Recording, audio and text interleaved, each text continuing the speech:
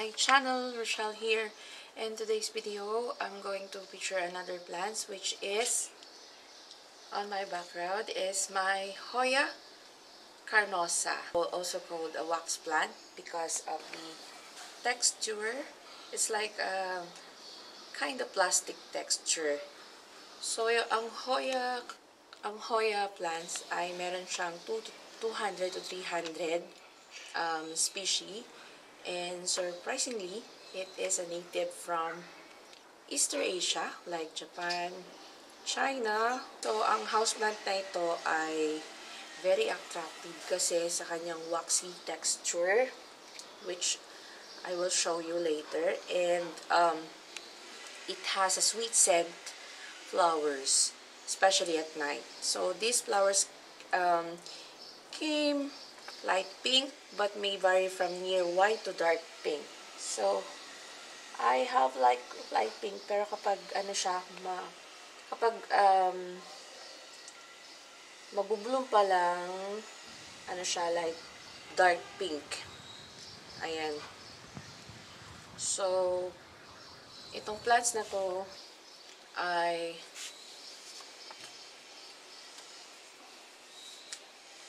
since nga tropical siya, so it can tolerate low temperature but not freezing.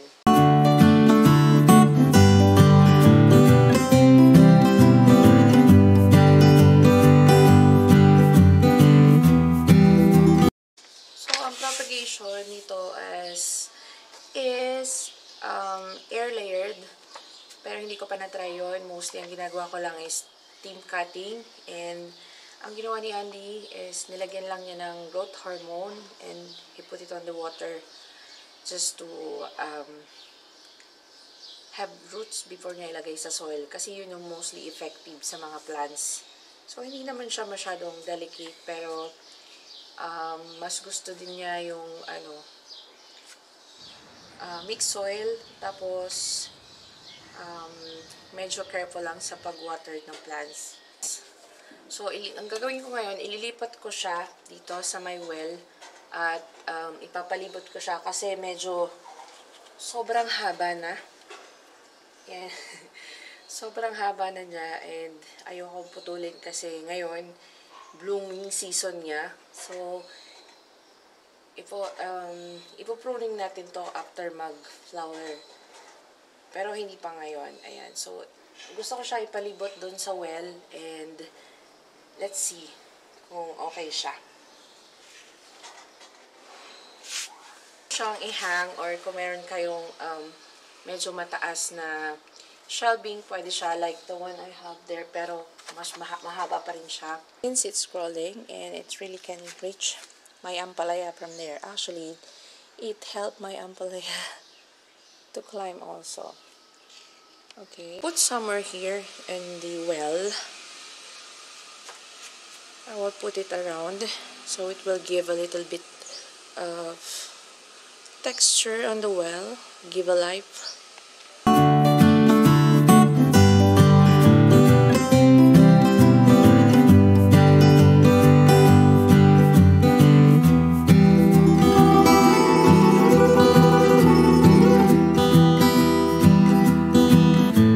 So, hindi ako masyadong napapropagate ng um, ng Hoya carnosa kasi wala pa akong paglagyang shelf. Hopefully by next year magkaroon ako ng shelving na na marami for the plants. But for now, I will use what I have. Try to see what I can do on this. Okay, so let's start.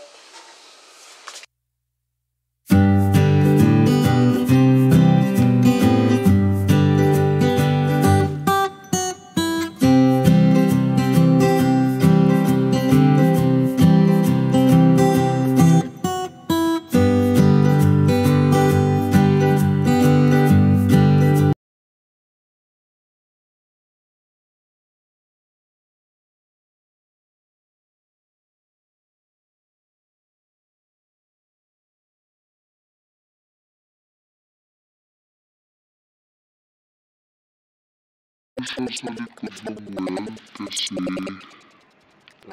kasi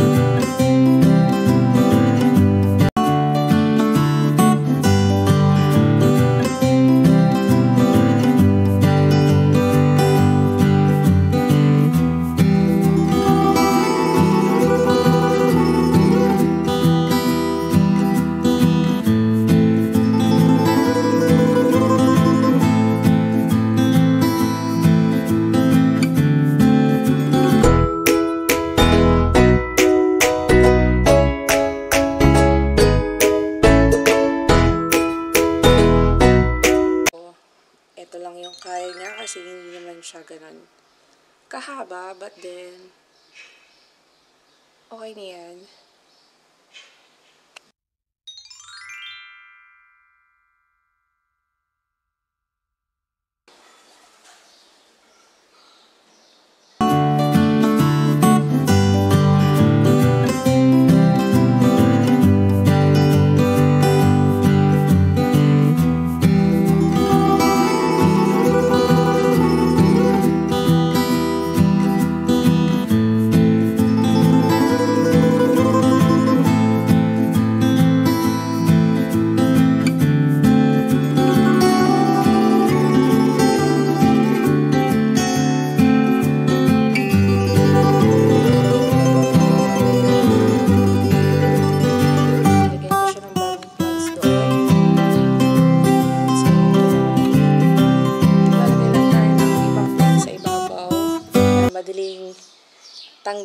kasi yun medyo mabigat siya. Pero parang okay na sa akin to. And um, now is June. Meron pa siyang time to bloom kaya dadami pa yung flowers niya. Diba?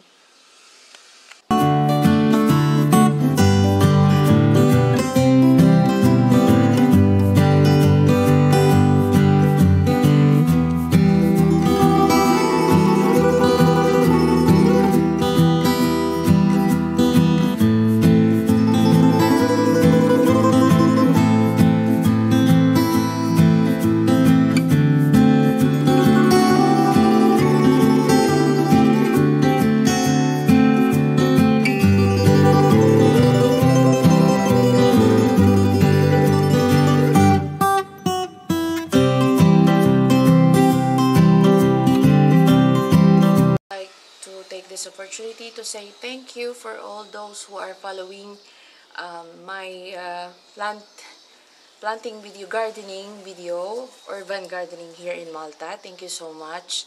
I really appreciate ang mga comments. Ayan. And um, I will going to try to picture more plants.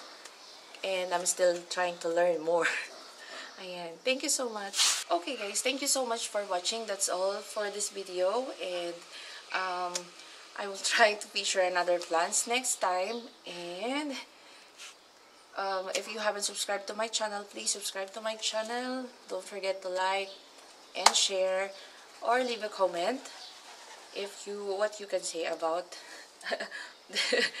what I did about the well and the Hoya plants and um, Keep safe everyone. Good vibes to all. See you on my next video. Bye.